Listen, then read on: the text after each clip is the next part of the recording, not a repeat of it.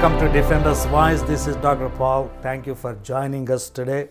Send your questions to info at drpaul.org.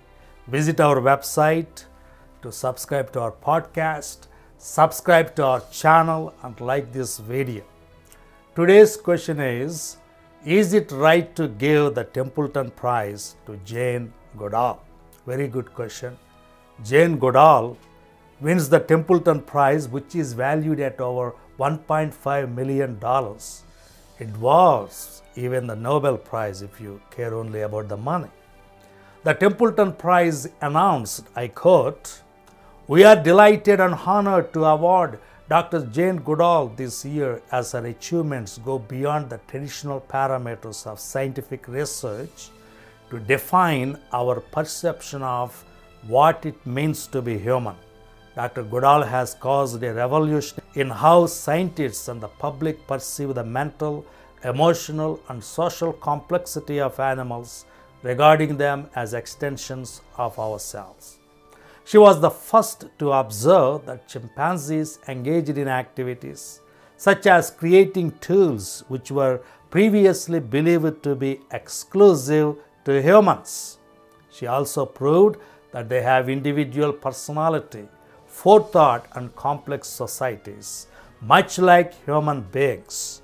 Through her observations, Dr. Goodall showed that under certain circumstances, they wage war and also, like us, show compassion. Most importantly, throughout her career, Dr. Goodall has championed the value of all life forms on earth, changing both scientific practice and culture at large. Raised Christian, she developed her own sense of spirituality in the forests of Tanzania and has described her interactions with chimpanzees as reflecting the divine intelligence she believes lies at the heart of nature.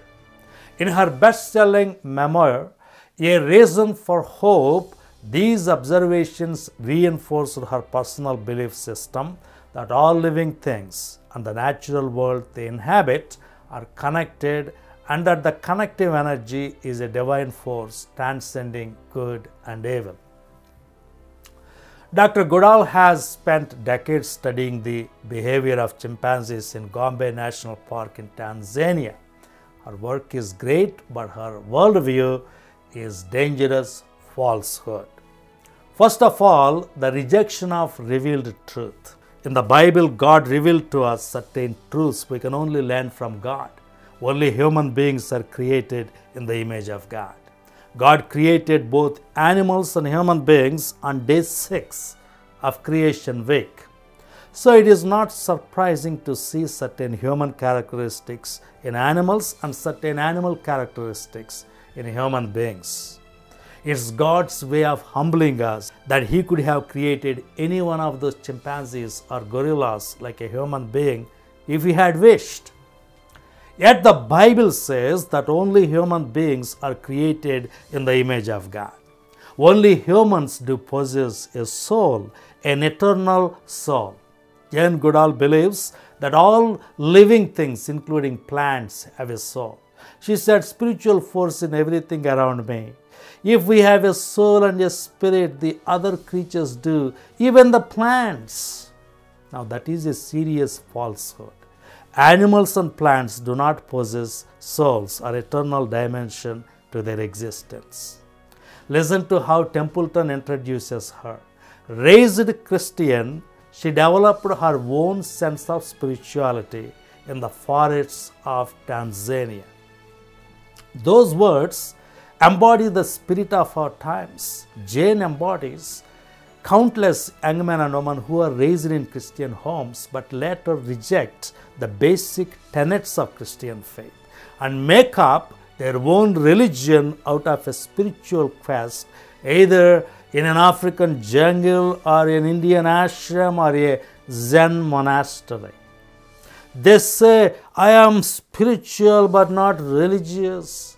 I wake up in the morning to the voice of nature. I see the divine in the sound of the air. I listen to the divine voice in the song of the birds. I kiss a chimpanzee to feel a spiritual bond. I hug a tree. I smell a flower to feel oneness with the divine. What more do we need?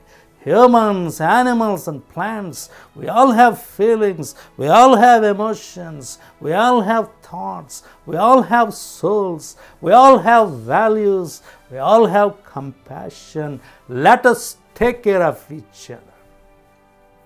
That sounds good, but such a worldview is a recipe for disaster. If that is what you believe, and if you die tonight without Jesus as your Savior, you are lost. Because the Bible says that the wages of sin is death, but the gift of God is eternal life through Jesus Christ our Lord. We are sinners who need a Savior. God sent His Son Jesus to this world as our Messiah, as our Savior. We should come to Jesus Christ, realize our sinfulness, understand our lostness in sin, and receive Jesus as our Lord and Savior. Every human being should start there. Jane Goodall did not do any of these things. She is 87 years old I can safely say that she does not have much time left on this earth, and if she dies in her sins, she will go to hell. Let us hope and pray that she will get saved. Because Lord Jesus asked, What shall it profit for a man to gain the whole world and to lose his soul? Jane Goodall gained the whole world. Uh, if she dies without Jesus, she regrets forever. That is the eternal dimension of her false worldview. There is also a scientific dimension to her false ideas. She convinced our generation that chimpanzees are almost human. Francis Collins, another recipient of this Templeton Prize, was so convinced by Jane that he halted all medical research on chimpanzees. Chimps are our cousins and we should not be using them for our selfishness.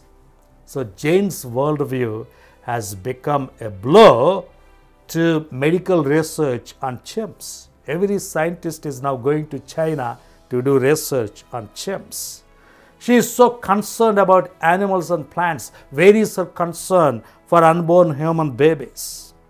So I appreciate her scientific research, but I am not buying her anti biblical, anti Christian gospel, spiritual falsehoods. But Ken Ham did more to improve our understanding of our place in this world. He built a beautiful creation museum Noah's Ark in Kentucky. They drew millions of people towards an understanding of a biblical, Christ centered worldview. Jane Goodall should visit Creation Museum to understand where she should put her scientific research in God's big plan for humanity. So I think Ken Ham, not Jane Goodall, should have received this prestigious Templeton Prize. Okay, folks, that's all for today. Please leave your comments. Don't forget to subscribe to this channel. Like this video and share this video. Thank you. God bless you.